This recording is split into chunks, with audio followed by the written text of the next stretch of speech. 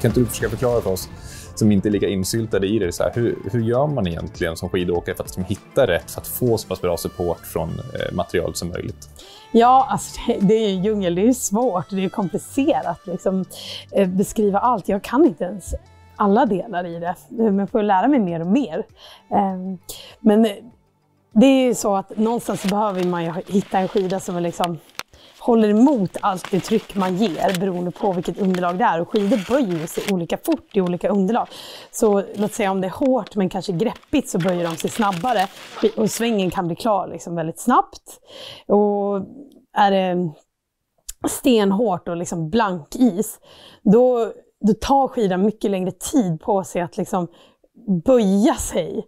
Vilket innebär att man måste ha också en annan åkning som åkare att, att tajma allting rätt. Men också så ställer det andra krav på skidorna. Om de inte är vridstyva i fram, då kanske de börjar wobbla lite grann i fram. Vilket, säg om man har en fet friåkningsskida, de är verkligen inte vridstyva i fram för de har liksom inte sånt material. Så då börjar det wobbla och då har man inget grepp sen heller för att då kan den liksom inte skära rent. Eh, så det är jättemycket vad man har för material i skidor. Eh, vad är det för material på stål stålkanter, hur stålkanterna är slipade, vilka vinklar det är på stålkanter, vilka vinklar man har på pjäxor.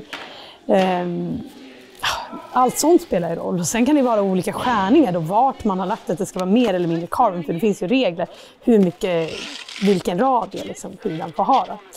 Eh, och då kan man ju välja kanske att det svänger mer i början eller mer i slutet. Och sådana grejer kan ju också spela roll då när man kommer på is. Och, eh, och sen också hur åkaren är och var åkaren ligger, tryck i svängen. Om, om man litar mycket på kanske böja skidorna mycket i början av svängen, då ställer det ju väldigt mycket krav på att de ska vara vridstyva. Men om man kanske ändå då lita på att svängen ska gå fort, för att det är det som är hela nyckeln i åkningen, att man böjer skidorna fort i början av svängen och sen låter skidorna gå.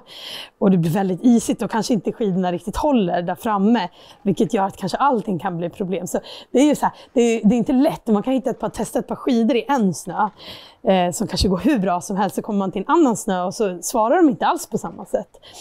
Så det är det som gör att det är supersvår sport. Eh, också i och med att det, det ändras på vilken snö man än är. Jag vet typ Henke Kristoffersen pratade om att han hade typ 50 par skidor när han var i, i v, på VM förra året. Och, och då hade de fyra olika snötyper. Han hade ju testat ut fyra olika skidor för olika snötyper, men det var ju fyra olika snötyper i samma bana. Och då visste inte han vilka skidor han skulle ta, för han tyckte att det var så dåligt då. Liksom, för att nu visste ju han vilka skidor han skulle ha på vilken typ av snö.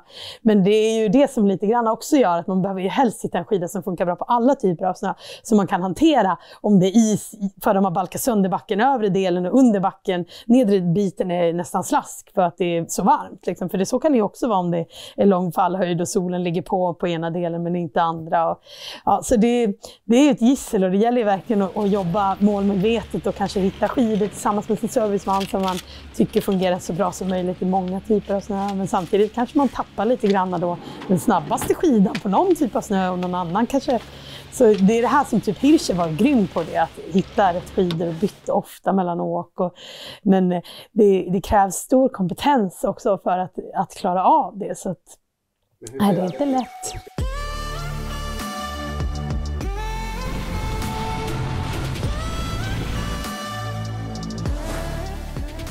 Får jag välja så jobbar jag helst så att jag har ett par skidor som jag är nöjd med. Då hittar man tajmingen på dem lättare, att man inte behöver byta. För byter man skidor ändras ju tajmingen lite också.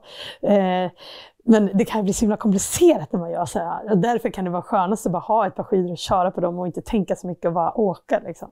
Men, men man kan ju också förlora på det och det är där som jag tror många killar ibland går ju bort. För att de är väldigt duktiga på det här men det kan ju bli för mycket också. Många tjejer gör det lite enklare för sig, bara tar ett par skidor oftare och kör. Men eh, ja, det är sådär. Det är inte så lätt. Och det, det gäller ju att jobba med det, en stor del av vår sport. Mm. Om du säger att det är två dagar innan Killington, eh, ni tränar och din eh, servicetekniker Reini säger det här är det du ska göra, eller så här ska, det här ska du ha på dig när du racear. Och du säger nej men jag tycker det här. Vem, vem går vinnande ur det så att säga? Har du alltid sista ordet eller kan det vara så att han säger att, här, att hans ord är lag, för det är han som ska stå de där grejerna och fixa dem? Han, han är ju ganska så säker på sin sak många gånger och kan vara ganska övertygande. Men eh, jag bestämmer i slutändan ändå vad jag kör på. Men, eh, men eh, han, skulle, han är duktig på att övertala mig faktiskt.